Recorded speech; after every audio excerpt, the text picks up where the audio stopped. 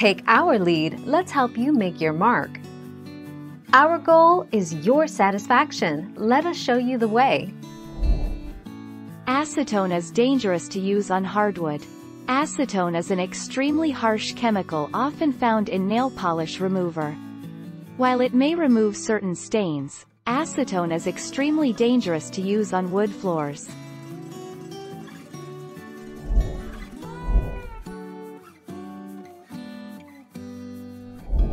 Let's help you make your mark. Use sandpaper All you need to do is start with 150 grit sandpaper and sand the entire surface.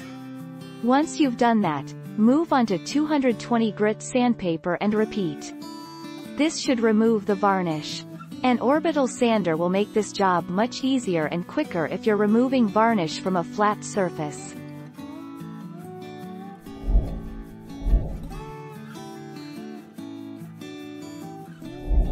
Make your mark, take our lead. Some substances, such as acetone nail polish remover, can strip away the finish and damage the wood quickly when even a small amount of the acetone hits the wood flooring. Other substances can be damaging when they remain on the floor for too long or when they are scrubbed into the floor.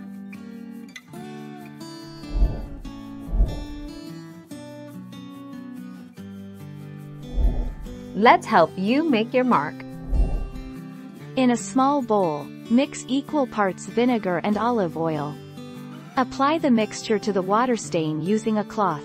Wipe in the direction of the wood grain until the stain is gone. The vinegar will help remove the stain while the olive oil acts as a furniture polish.